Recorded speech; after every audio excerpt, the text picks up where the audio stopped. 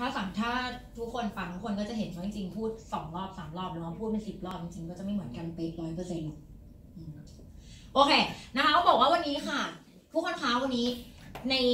ยามเกษียณนะคะ วันหนึ่งถ้าเราถึงวัยเกษียณพวกเราอยากมีเงินใช้หลังเกษียณไหมคะอยากมีเงินใช้เนาะเราคงอยากมีเงินเก็บสักก้อนไว้ใช้ วันนี้ค่ะ ถ้าให้เก็บเงินใช้ยามเกษียณพวกเราเก็บกันยังไงคะฝากธนาคารเก็บเป็นก้อนเลยไหมอะ ก็ต้องค่อยๆทยอยเก็บไปถูกไหมคะค่อยๆทยอยเก็บไป พอทยอยเก็บอะค่ะ มีโอกาสไหมคะที่ขณะในการเก็บเงินอยู่วันหนึ่งเราจะป่วย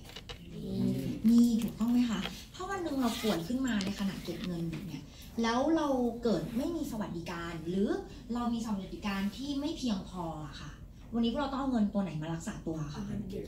ก็คงต้องเอาเงินเก็บก้อนเนี้ยของเรามารักษาตัวเนาะพี่เนาะ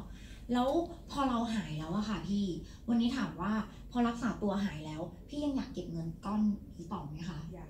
ก็อยากใช่ไหมคะเพราะเรามีเป้าหมายความฝันของเราไว้เนาะตอนเกษียณ แต่ในขณะที่เก็บเงินครั้งที่สองกับครั้งแรกอะค่ะ พี่พี่ว่าเนี่ยยากกว่ากันค่ะ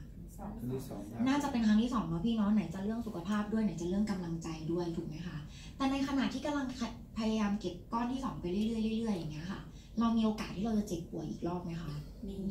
มันก็น่าจะมีถูกไหมคะ แต่ถ้าเกิดรอบเนี้ย มันดันเกิดเป็นโรคร้ายแรงขึ้นมา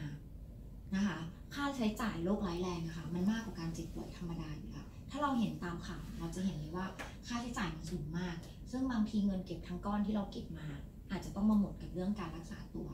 หรือบางคนนะคะเขาจะต้องถึงขั้นติดลบเลยทีเดียวกับเรื่องเงินเก็บตรงนี้เนาะ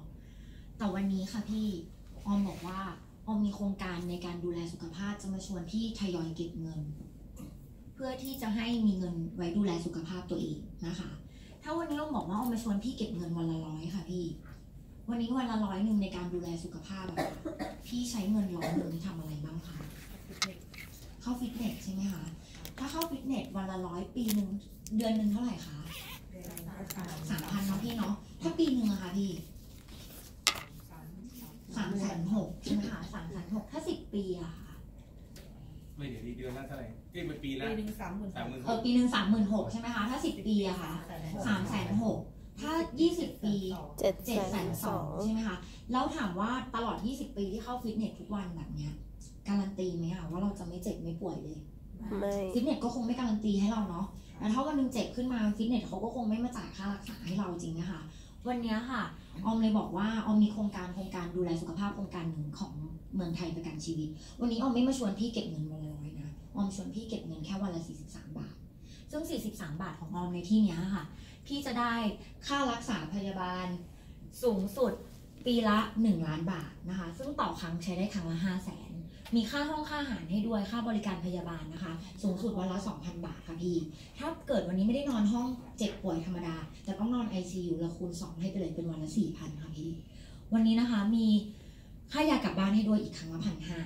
นะคะ มีค่าตรวจ ค่าแพทย์ตรวจรักษาในโรงพยาบาลพันสูงสุดอ่าพันสองร้อยบาทค่ะพี่ วันนี้มีผู้ป่วยมีค่ารักษาพยาบาลผู้ป่วยนอกนะคะ ต่อครั้งที่เกิดจากการรักษาพยาบาลต่อเนื่องครั้งละพันนะคะ มันคือการเคส follow up อะค่ะพี่ เสร็จแล้วมีเรื่องค่ารถพยาบาลฉุกเฉินค่าตรวจวินิจฉัยทางรังสี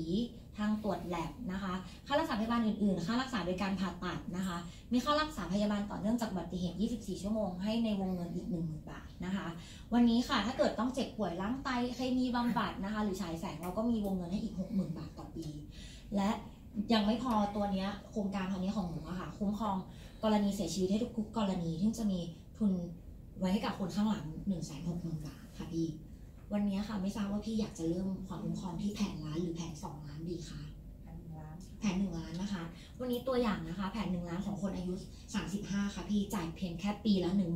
15,745 บาทเองเพื่อแลกกับความคุ้มครอง